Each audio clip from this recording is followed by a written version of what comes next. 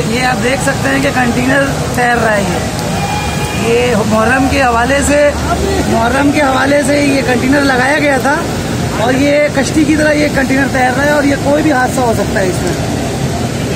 इसमें कोई भी हादसा हो सकता है और देखें, इंतज़ामिया गायब है बिल्कुल बिल्कुल गायब है। और ये एक नहीं है दूसरा कंटेनर आप देख लें, ये।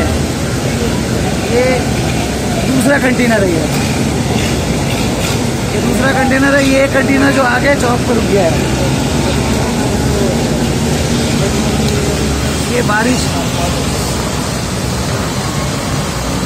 हाँ, हाँ। अब ये कंटेनर और है सामने है ये किसी वक्त भी ये फ्लाई कर सकता है।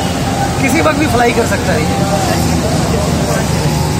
ये एक कंटेनर तो ये रुक गया है ये बिल्कुल बे मेन तिब्बत सेंटर के चौक पे। एक कंटेनर आगे की तरफ़ चला गया है, वो भी आगे जाके रुक गया है। ये दोनों कंटेनर इन्होंने स्टॉप कर लिया, अब ये सवारी बैठाएँगे। सवारी बैठा के फिर ये केमाड़ी की तरफ़ जाएँगे।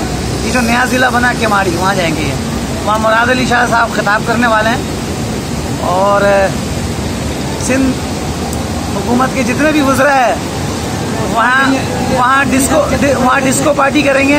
आज के दिन ये इस कंटेनर पे बैठ के और इमरान और ये कह रहे ये कंटेनर कह रहे हैं कि इमरान खान साहब आ जाएँ क्योंकि कंटेनर की पैदावार आप रहे ये देखें कंटेनर का रुख चेंज किया जा रहा है।